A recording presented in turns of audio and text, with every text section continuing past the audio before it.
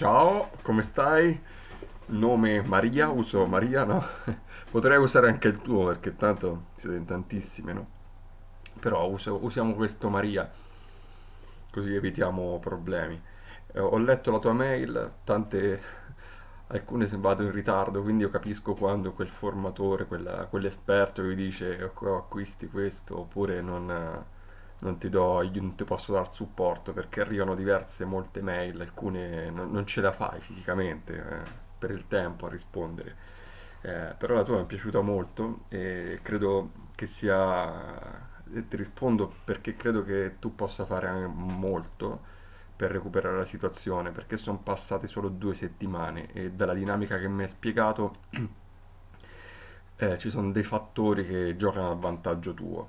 Eh, ti dico per te e per chi magari guarderà un domani questo video, ehm, faccio un piccolo riassunto, no, della, della tua storia e, e poi ti dico quello che farei. Tu hai fatto delle proposte in merito a soluzioni, ma io non, non te le consiglio. Ti spiego quello che farei io, poi tu scegli la strada migliore, no? Però ti voglio spiegare la mia prospettiva da, da uomo e, e- e un po' da, da- da una persona che ha visto diverse dinamiche in questi anni di relazioni.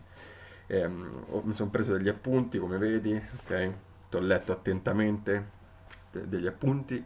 Eh, riassuntivi sono che tu, questa storia è durata sei anni, è stata la prima storia importante per entrambi.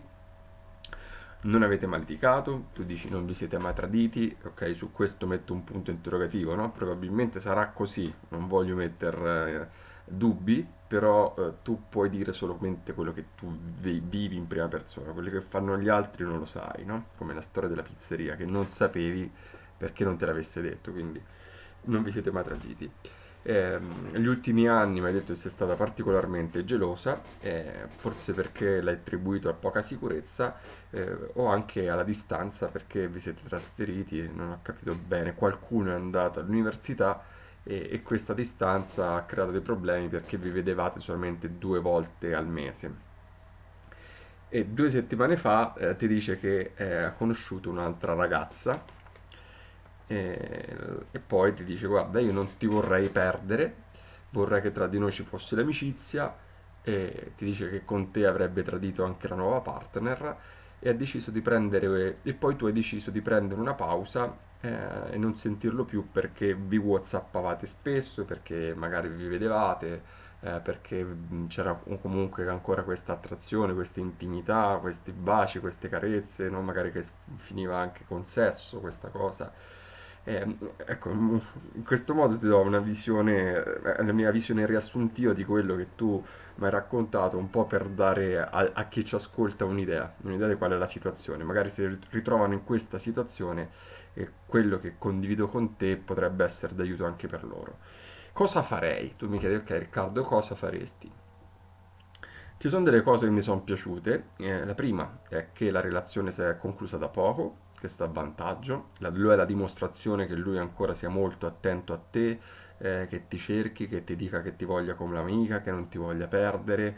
E sebbene tu dica che ehm, vuoi interrompere questa, no? Che tu sei stata in una settimana di silenzio da WhatsApp, non hai risposto perché non volevi che lui si sentisse così sicuro di avere ehm, due donne a disposizione, io ti dico che non è la cosa migliore da fare. Eh, tu, tu non sei più la sua ragazza, questo è il punto di partenza non puoi pensare come se fossi la sua ragazza, devi cambiare l'impostazione. Quindi eh, se tu sei in buoni rapporti, tienili questi buoni rapporti perché saranno il punto di partenza che ti permetteranno di recuperare la, la relazione. Io credo che tu possa giocartela, nessuno non è una formula matematica, non posso dirti sì ce la farai, però io credo che tu abbia molte possibilità per giocartela. E come, eh, come me la giocherei io? Me la giocherei in, in tre modi e in due fasi. Ok, mettiamola così, me la giocherei in due fasi. Eh, la prima fase è costituita da, da tre step, tre passaggi. Parliamo della prima fase adesso, adesso, no? La prima fase la metti in campo fin da ora. La prima cosa che devi fare è continuare a mantenere l'amicizia con lui. Questo è importante. Non devi ehm, rompere il legame. Lui vuole l'amicizia, tu adesso dagli l'amicizia, tu dagli l'amicizia. Continua a parlare con lui, esci con lui, eh, ascoltalo, una cosa importante, ascoltalo. Lui con te deve stare bene. Perché se io ho due donne, eh, quando scelgo, scelgo quella con cui sto meglio come dal punto di vista sessuale, mentale, divertimento, non lo so, però la finalità, finalità tua è che lui stia bene. Probabilmente per un motivo o l'altro lui ha pesato te e l'altra e ha scelto l'altra. Ok, quindi tu devi recuperare questo svantaggio. Quindi non perdere il contatto, esci con lui e cerca di star bene farlo star bene, che lui stia bene con te, che passi quell'ora insieme a te e se la passi alla grande. L'unica cosa eh, che eviterei è far sesso con lui, eh, perché eh, questa cosa crea una dipendenza a te.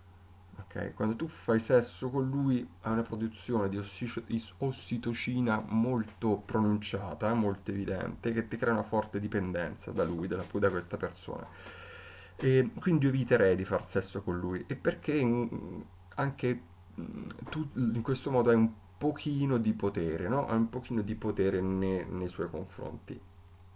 Quindi, prima cosa da fare della prima fase, continua a mantenere l'amicizia, vai a vederlo, parlaci, whatsappaci, evita di far sesso. E quando vai a vederlo, quando vi incontrate, devi essere bella devi essere bella, vestirti bene, lui ti deve vedere, deve, deve pensare wow, cosa mi perdo fisicamente, parlare con te e dire wow, cosa mi perdo non poter star con lei e parlare con lei. E devi essere profumata, ok? Ti metti profumi. Queste sono le cose che farei, prima cosa. Poi, ehm, quando, quando state là e parlate, cerca di evitare discorsi eh, relativi alla relazione che è finita evita discorsi che siano tristi e nostalgici, ok? Lui ha preso un'altra strada, ha preso questa decisione, ok? Tu considerala un, considerala un capitolo finito e evita di tornare a parlare di questo. Fai vedere che come la, lui ha deciso che è finito, lo sarà anche per te. Lui in questo momento ha un vantaggio, lui ha preso una decisione. Non sarà la tua disperazione, il tuo piangere, il tuo raccontare quanto stavate bene insieme a farlo tornare questo te lo garantisco. Lui già ci ha pensato, sei tu che arrivi dopo. Quindi tu evita di ricordare il passato, vivi il presente, tu lo stai riconquistando. Evita di ricordare il passato, la tristezza, la nostalgia, ok? Evita tutto questo. E la terza fa- il terzo passaggio della prima fase è comincia a pubblicare, se tu sai che lui è social e siete amici, eh, tu cominci a pubblicare foto tue no? dove tu eh, ti, ti, metti in mostra, io dico ti vendi un po', no? Perché quando una donna o un uomo, eh, a meno che non lo faccia poi per lavoro, no? Però quando una donna o un uomo comincia a pubblicare foto sue, belle foto sue, è perché magari si è rimesso sul mercato e come ti vedono altri uomini, ti vedrà lui. E essendo una cosa molto fresca questa vostra separazione, lui è ancora geloso di te dopo sei anni, lui ha ancora questo senso del possesso su di te. E se vede che tu gli stai scappando dal controllo, allora lui comincia a preoccuparsi perché lui vuole questa doppia relazione. Lui ti dice: Voglio eh, rimanere in amicizia con te, voglio ehm, tradire la mia ragazza con te. E per, proprio per questo, perché lui ancora non è sicuro del passo che sta facendo, ad andare con quell'altra ragazza. Te ti conosce da sei anni, sa come sei fatta, sa tutto di te. L'altra è un'incognita. Quindi lui è in questa fase di passaggio ed è per questo che vuole rimanere eh, in, in, in buoni rapporti con te, perché non è ancora certo. Tu dagli quello che vuole, però fai vedere che anche tu sei sul mercato, che anche tu stai cercando altro. Scatta belle foto tue, tu hai detto sono una ragazza piacente, ok, fammelo vedere che sei così, fallo vedere agli altri. E lui sicuramente si ingelosirà. Ok, dopo un mese io a quel punto proverei Vediamo, dovresti vedere come reagisce e a quel punto proverei a mandare quella, quel messaggio, quel WhatsApp dove gli dici guarda è vero, probabilmente mi dispiace che la nostra storia sia finita, però forse doveva andare così, eh, sono contento che sia rimasta questa amicizia, però eh, sono contento perché anche a me mi sono aperte nuove possibilità e cose nuove, cose belle, dai. E, e sono convinto che lui in quel momento capirà che ti sta perdendo, e allora forse lì, lì potrà fare un passo, ok? Però questa, questa qua della, della lettera o del WhatsApp è la seconda fase. Quindi la prima fase sono tre step, mantieni l'amicizia, non parlare del passato e condividi foto tu online dove sei irresistibile.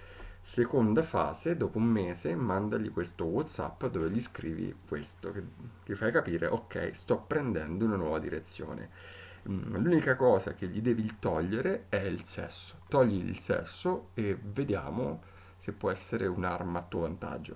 Più o meno per quello che tu mi hai detto, eh, questo è, è, il consiglio da esterno, no? leggendo una mail comunque lunga che ti potrei dare, la mia opinione, quello che secondo me funziona. Io ti auguro di cuore di poter risolvere questa relazione e che tu stia bene.